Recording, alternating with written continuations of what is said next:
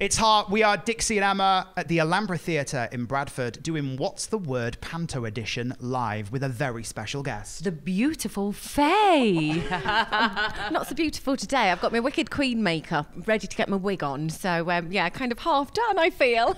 Look, a very important challenge for you here. We Yes. want to see how many words you can guess. Yes. Um, you do get to pick out of me or Emma Yes. who you would like to deliver those words to you. Who's it going to be, Faye? well, I think that I need to choose the lovely Emma.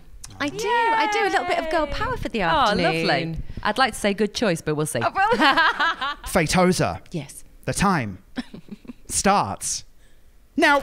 This is somebody that works for somebody and might type things up on a computer for them, like a, a, a different word for a PA. Yes. Uh, this is something that lays an egg. Chicken. Uh, no, the other word for it.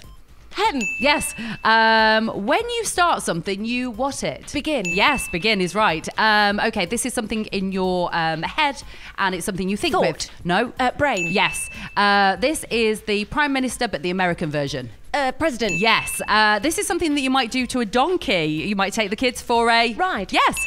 Um, oh, if somebody's been really bad to you, like a, a boyfriend, and you might want to get something, you might want to get on them. Oh, Uh, dirt. No, no, no, no, no, no. Um, if they've been really bad to you, um, and then you want to get something. Revenge. Yes, yes, revenge is right. Uh, this is something that you would send through the post. Letter. No, another word Card. for it. Postcard. No, no, Letter. it's the royal Mail. Yes, Ah. mail is right. Uh, something you put on your hands to keep them warm. Gloves. Guys, a score of five, six, seven, eight.